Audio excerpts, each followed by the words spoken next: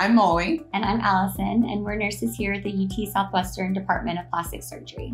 Today, we're going to discuss the post operative expansion process after you have your tissue expander placed. After you have your tissue expander placed, you will see Dr. Haddock at the three week post op mark in the office. At that appointment, we will discuss sizing and the ideal volume of your tissue expander.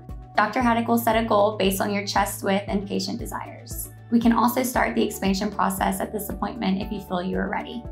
So typically these expansions are done about once a week here in our clinic and the number of expansion visits will depend kind of based on your goal and the original volume that Dr. Haddock fills in your expander in the OR.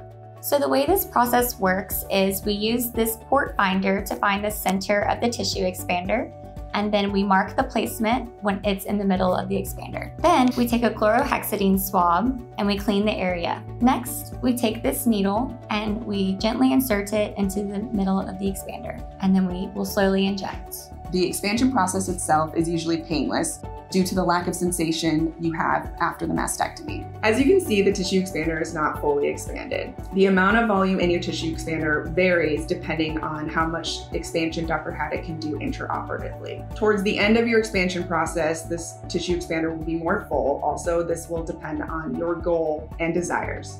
Some patients may be a little sore or tender that evening. If you are, it's nothing that over-the-counter NSAIDs or Tylenol cannot cover. After each expansion, we typically advise patients to go home and put on something form-fitting, look at yourself in the mirror, and kind of determine if you're at a size that you're comfortable with.